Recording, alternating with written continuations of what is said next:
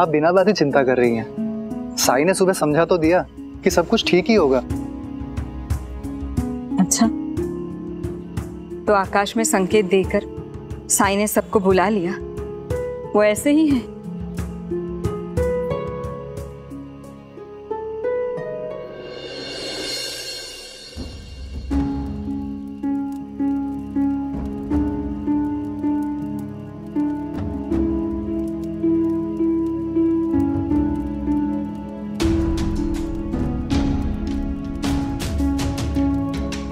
साई?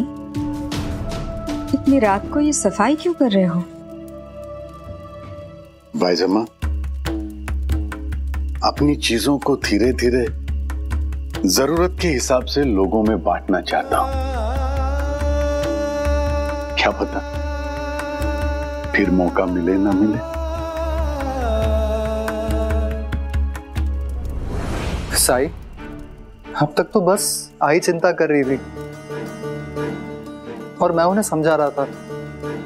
लेकिन अब तो अब तो मुझे भी चिंता हो रही है। तात्या चिंता चिता है। ऐसा अग्नि जो वर्तमान को भस्म कर देता है। अगर चिंता से कोई लाभ होता तो मैं खुद तुम्हें चिंता करने के लिए कहता। एक बार तुमने कहा था कि ऐसा भी समय आएगा जहाँ अंत की शुरुआत होगी।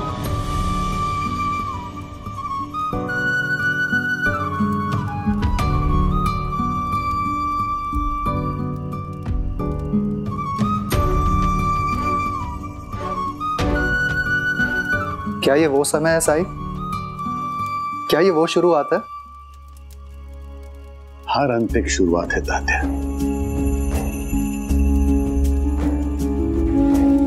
अंत के बारे में नहीं, उस शुरुआत के बारे में सोचो।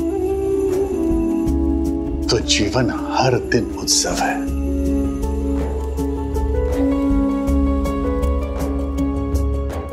आई, ये साई ऐसा क्यों कह रहे हैं?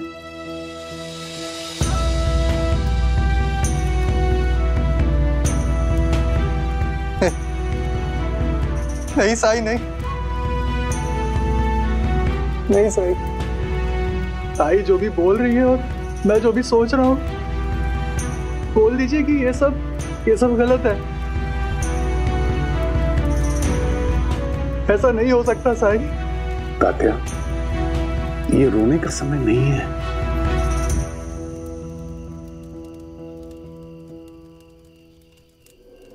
तुम्हें हर चीज़ हिम्मत से करनी है तात्या। हर चुनौती का सामना निडरता से करना है। अपने व्यक्तित्व को पूरी तरह से परिपक्व बनाना है। नहीं साई साई ऐसा मत बोलिए मुझे। मुझे डर लग रहा है। मैं तो बस तुम्हें आने वाले समय के लिए तैयार कर रहा हूँ तात्या क्योंकि जीवन का यही सत्य है। कि समय कभी एक जैसा नहीं रहता। अगर हम जीवन के निरंतर बदलते सत्य को समझ लें, स्वीकार कर लें तो हम कुछ भी स्वीकार कर सकते हैं। जितना कुछ तुमने मुझसे सीखा है, उसे प्रयोग में लाने का समय आ गया है, तान्या।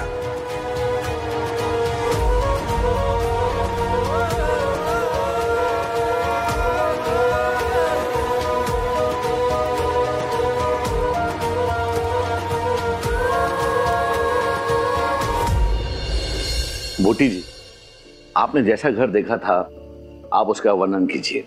मैं बनाते जाऊँगा। विपदा के क्षण भजता है मन, साई बारंबार। बाबा का मेरे नाम जो स्मर ले, तर ले ये संसार। बाबा का मेरे नाम जो स्मर ले, तर ले ये संसार।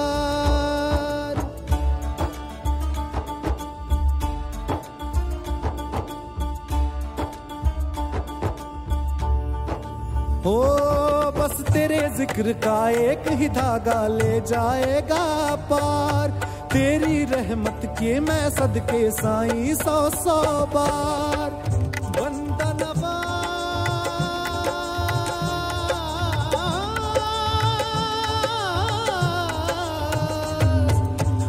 बंदा नवाज़ में हर रिवाज ये तोड़ के कर दू जान सार। तेरी रहमत के मैं सदके साई सौ सौ बार, सदके साई सौ सौ बार।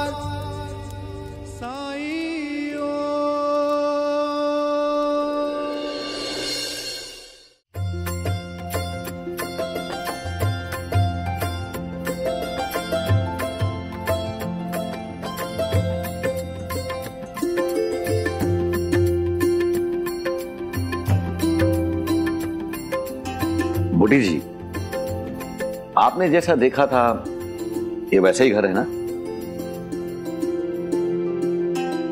लेकिन मुझे अभी भी इसमें कोई कमी लग रही है। ये ये नक्शा पूरा नहीं है। आपने और क्या देखा था बताइए मुझे। जितना मैंने देखा था, उतना आपको बता दिया दीक्षित जी। इसके आगे का तो मुझे पता नहीं।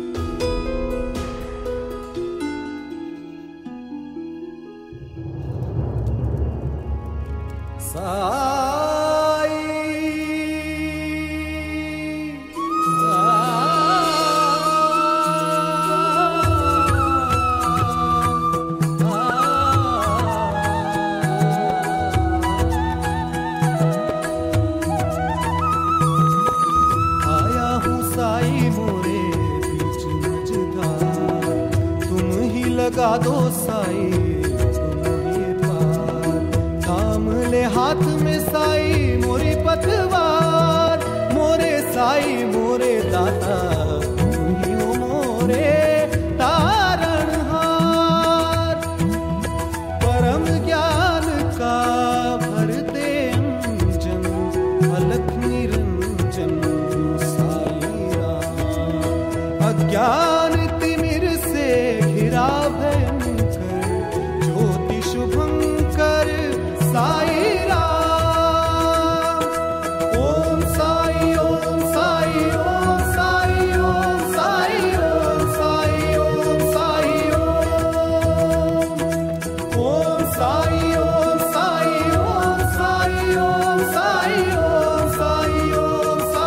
साई। ये साई लीला है।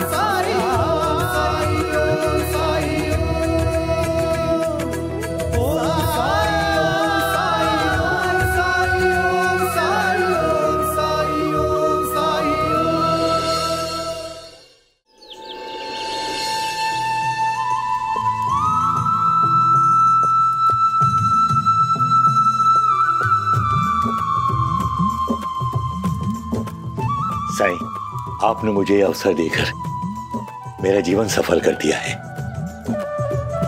अब हमें तुरंत ही बाड़ा बनाने का काम करना पड़ेगा। सबसे पहले हमें ज़मीन ढूंढनी होगी। ठीक है बुढ़िया। ये काम जल्दी हो जाना चाहिए। ये वाड़ा दशहरे तक बनकर पूरा हो जाना चाहिए। दशहरे तक? इतनी जल्दी कैसे होगा साईं? श्रद्धा और सबूर है लेकिन साई ज़मीन देखने और खरीदने में ही बहुत समय चला जाएगा। ज़मीन देख ली है मैंने। चलो मेरे साथ।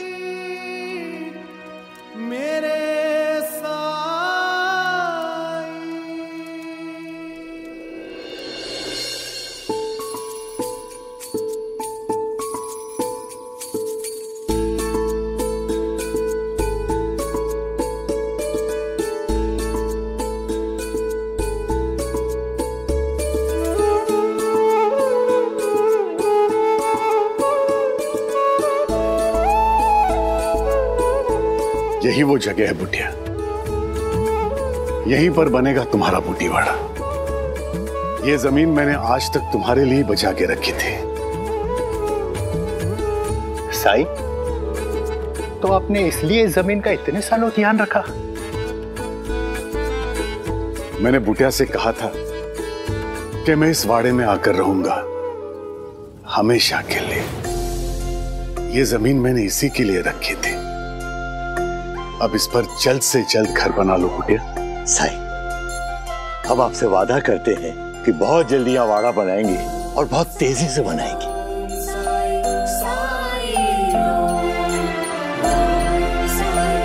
सबका मालिक एक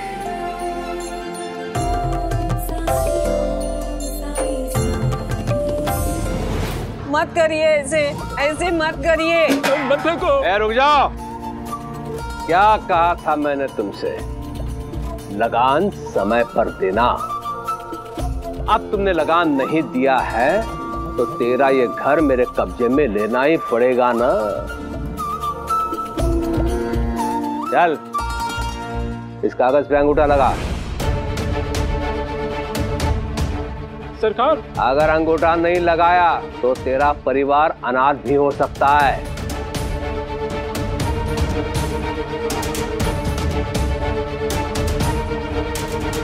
अहो रुक जाइए। ऐसा मत कीजिए। अगर इनका घर चला गया तो ये लोग कहाँ जाएँगे? हरिओम। अपनी मर्यादा में रहना, रुक्मिणी। चल अंदर जा।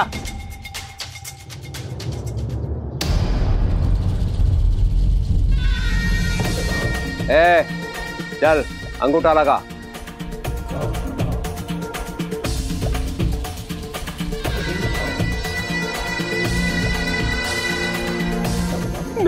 नहीं सरकार अंगूठा नहीं लगाऊँगा। चल अंगूठा लगवा नहीं सरकार अंगूठा नहीं। अंगूठा सीधा कर। लगान दे दूँगा सरकार। अंगूठा लगवा।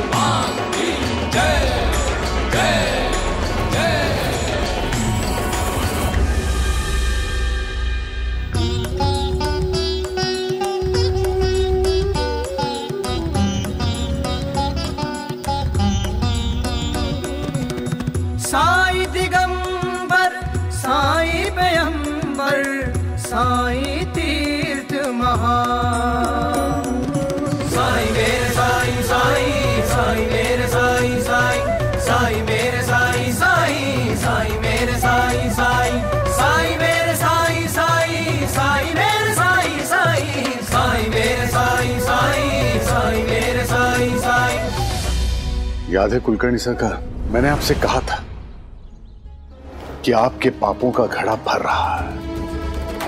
लेकिन आपने उस पर ध्यान नहीं दिया। अब आपके पापों का घड़ा भर चुका है। और आने वाले समय में बहुत परेशान होने वाले हैं आप। हर कर्म का फल मिलेगा। ए फकीर क्या विक्षिप्त व्यक्ति की भांति बातें कर रहा है तो? कुलकर्णी सरकार अत्याचार करना बंद कर दीजिए।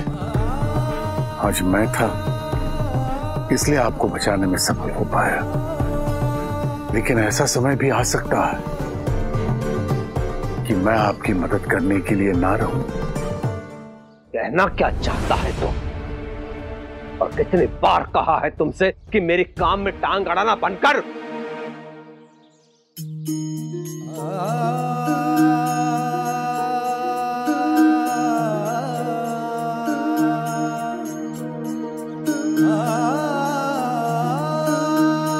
ये इस आदमी का लगा।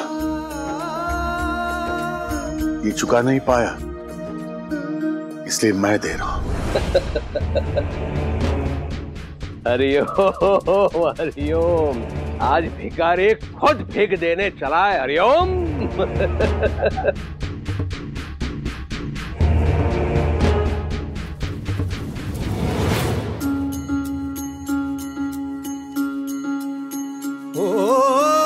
जब कठिनाई छाई, तू ही याद आया। तूने भक्तों का बेड़ा पार लगाया। तेरी महिमा मेरे साई, कौन जान पाया?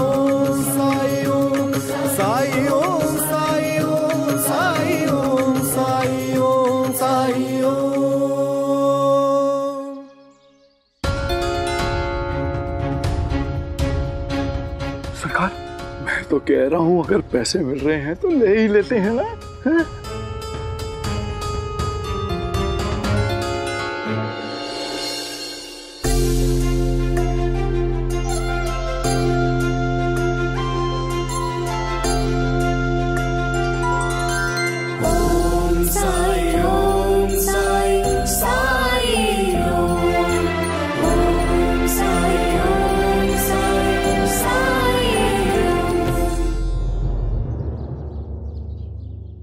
कुलकर्णी सरकार।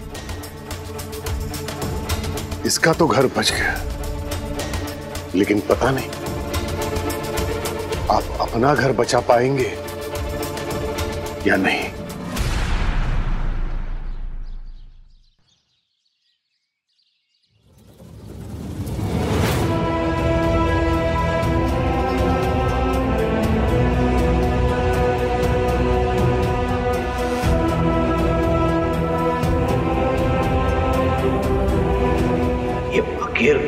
क्या चाह रहा था?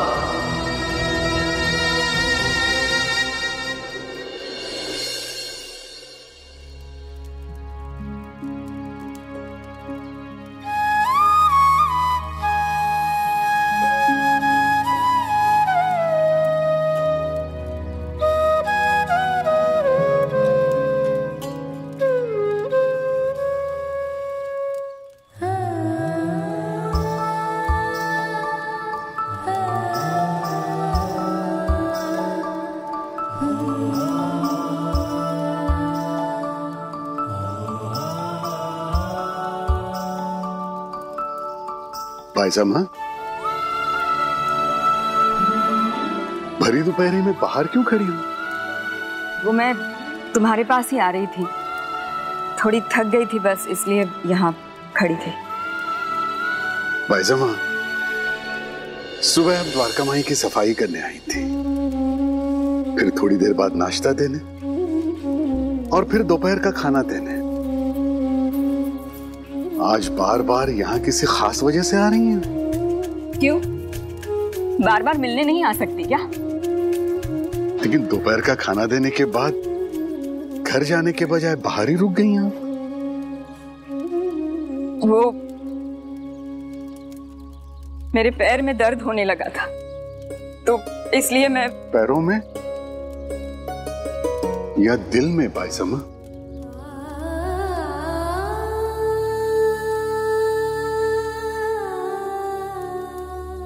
दिल नहीं दुखना चाहिए क्या? जब से उस ईट में दरार पड़ी है, तब से तुम ऐसी बातें कर रहे हो कि मुझे डर लग रहा है कि कहीं चले ना जाओ। इसलिए नज़र रख रही थी तुम पर। तुम बैरागी हो, साईं। हम नहीं, हम तो आम इंसान हैं। हम रिश्ते बनाते हैं। लोगों को अपना मानते हैं। और फिर उन्हें कहीं जाने नहीं देते हैं। बाईसमा जब आप रिश्ते बनाती हैं लोगों को अपनाती हैं तो अपने दिल पे हाथ रख के बोलो। क्या मैं आपको कभी छोड़ के जा सकता हूँ? और जाऊँगा भी कहाँ बायसमा मैं आपको परेशान नहीं देख सकता। सच। मैं हमेशा आपके साथ रहूँगा। तुमने वादा किया है मुझसे। अगर तोड़ा तो ज़िंदगी बर्बाद नहीं करूँगी।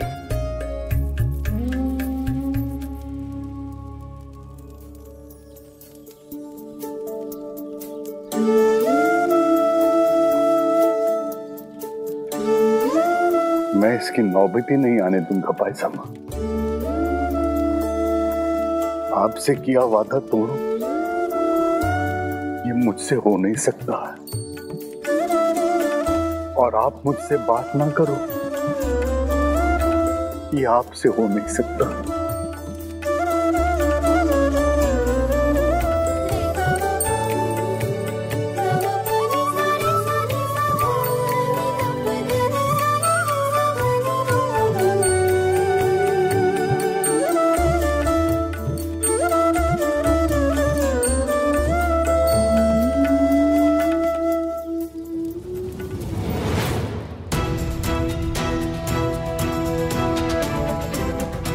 तात्या। क्या हुआ तात्या को? For more update subscribe to our channel click the show links and enjoy watching the videos